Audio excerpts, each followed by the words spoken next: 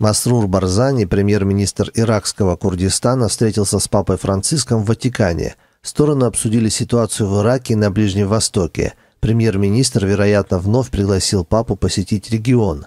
Во время встречи они также обсудили важность межрелигиозного диалога в деле поощрения терпимости и искоренения экстремизма.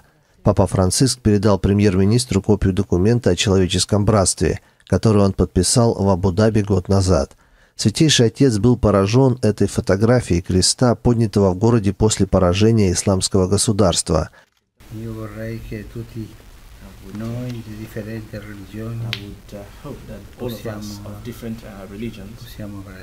Сердечная встреча завершилась взаимной просьбой. Несколько недель назад Папа Франциск встретился с президентом Ирака Бархамом Салихом.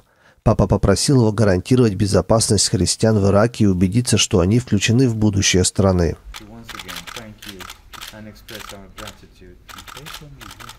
And please, you pray for us. Thank you so much.